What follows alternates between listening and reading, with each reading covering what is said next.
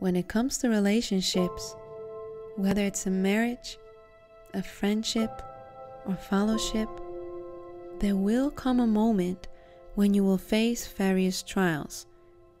It can go from small disagreements to eventually a painful separation. During these storms, things are being said, things are being done, things are being felt.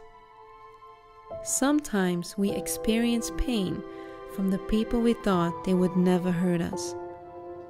Sometimes we experience rejection from the ones we thought they would never leave. Sometimes we experience the biggest storms with the person we love the most. And as we go through this suffering, this pain, we ask God, why? Would you be surprised if I say that the love is worth the pain?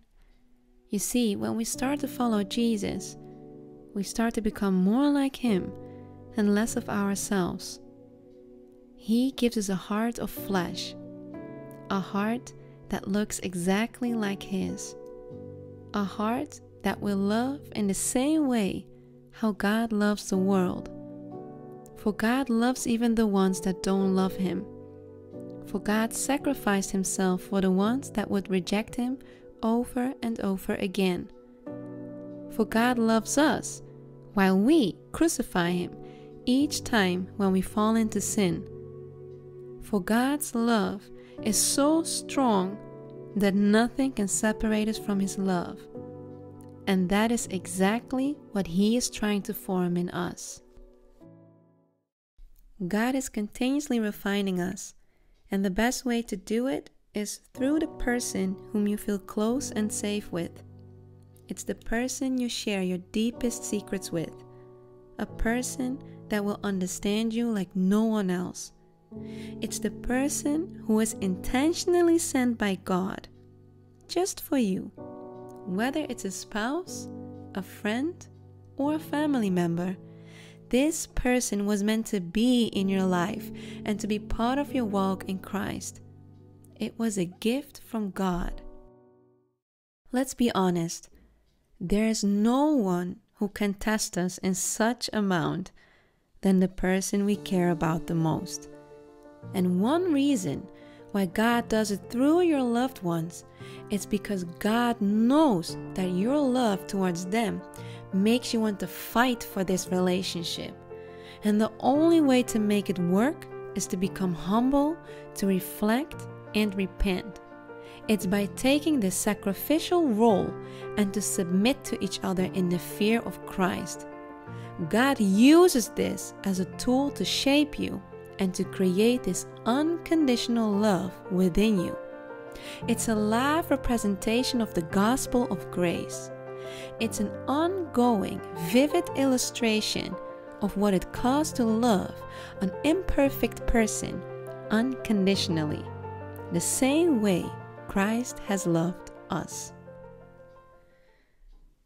When storms appear, it may feel it's breaking you completely. But what if the thing that feels as if it's breaking you is actually helping you become who God wants you to be? How crazy it may sound, but in the breaking, you're becoming too. The Bible says, Count it all joy, my brothers, when you meet trials of various kinds, for you know that the testing of your faith produces steadfastness, and let steadfastness have its full effect, that you may be perfect and complete, lacking in nothing. With other words, consider it joy not because it hurts, but because it's worth it. Consider the breaking a joy because the testing, breaking, and suffering produces a greater purpose. Consider it joy because you are being sanctified, meaning made more like Christ. God doesn't allow trials to break down our faith, but to raise it up instead. God doesn't permanently break those he loves, Rather, He seeks to make us whole. When we want to be able to love like Christ, We have to go through these storms to eventually develop forgiveness, grace, and unconditional love. How will you learn to forgive without being hurt?